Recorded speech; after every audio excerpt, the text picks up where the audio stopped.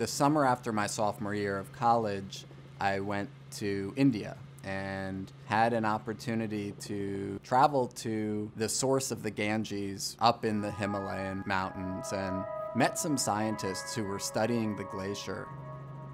They told me that the glacier had melted and was much further upriver than it was the year before, and the year before, and the year before, and that the source of drinking water for millions of people was at risk.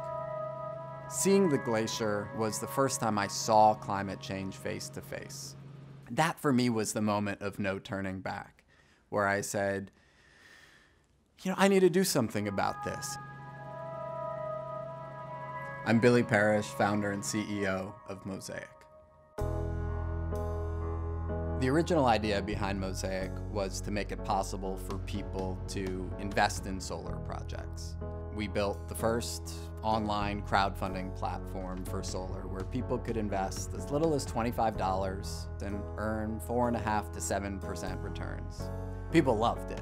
There were all of these people who hadn't been able to participate in clean energy and felt really good about making a reasonable return Today, Mosaic is the largest residential solar lender in the country. So a typical Mosaic customer is a homeowner who has a $250 a month utility bill. We help them pay to put solar on their roof, and that $250 utility bill turns into a $200 loan payment that they pay to Mosaic. People can save money day one. They don't have to put any money down, and they increase the value of their home.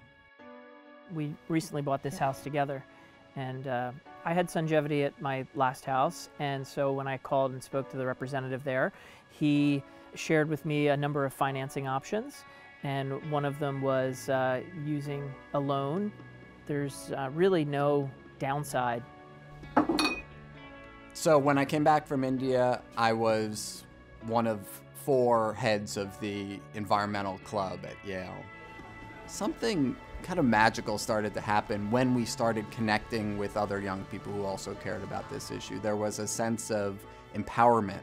I took a semester off to organize a Northeast Student Global Warming Conference. And That turned into Northeast Student Global Warming Coalition, and that turned into the Energy Action Coalition, which became the largest clean energy organization in the world. We brought together 60 different youth organizations, 350,000 young people across the US and Canada into a unified movement and ultimately worked to pass federal clean energy and climate policies.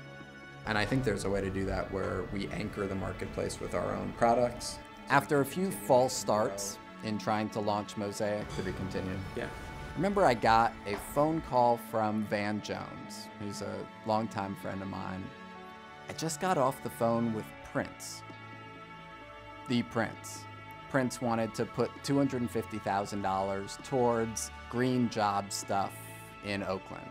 Now you have context? Yeah. And so we partnered with his organizations, Green for All and the Ella Baker Center and launched Oakland Solar Mosaic, where we matched $250,000 from Prince with $250,000 of crowd-funded money from people across the country. The first day that we put projects on the platform, they sold out in a single day. We knew at that point that we had hit a chord.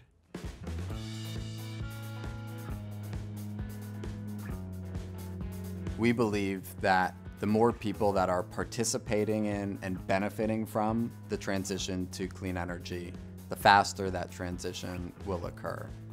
The motivations around solving climate change, while strong, weren't enough and that we needed to leverage the private sector, we needed to tap into people's interests in making money, saving money.